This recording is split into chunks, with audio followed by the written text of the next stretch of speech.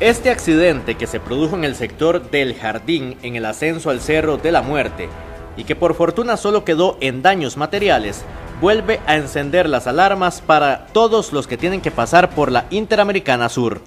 El clima, el diseño de la carretera, líquidos en la calle, hacen esta zona un lugar donde se tiene que circular con cuidado para evitar alguna tragedia. General la ciudadanía, ¿verdad? Eh, tenemos el tema del Cerro de la Muerte, que es una ruta muy complicada.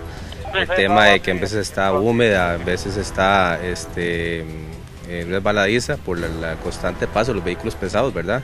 Para nadie es un secreto que hay algunos vehículos, tanto pesados como livianos, que han ido dejando aceite y demás residuos que ocasionan de que la ruta se vuelva por sí sola ya resbaladiza.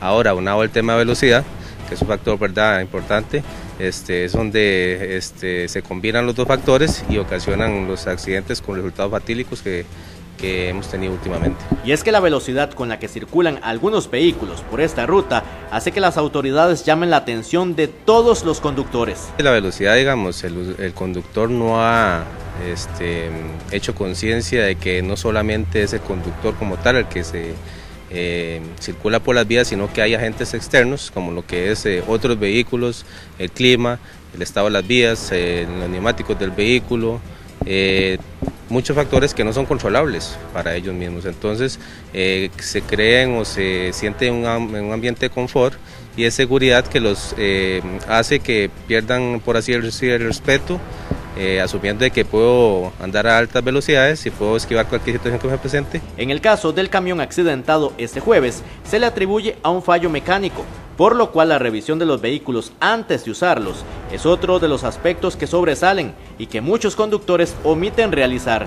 Sí, claro que sí. Recordemos que digamos, eh, no es solo llegar y montarse todos los días a un vehículo, importante revisar aceite, el estado del agua, eh, ver las llantas, que no haya algún botadero de aceite en la parte de abajo del vehículo que nos indique que pueda hacer que haya algún pérdida de aceite, eh, sí, aceite de, frenos o del mismo motor.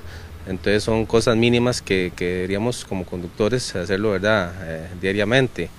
Ahora, si, si no tenemos eh, algún tipo de situación o algún control bajo eso, es cuando vamos a, podemos ver expuestos ante, ante lo que ha ocurrido últimamente. En una semana se dieron dos hechos dramáticos en este sector el accidente del sábado anterior con saldo de una fallecida y este vuelco espectacular y que pudo terminar en una tragedia.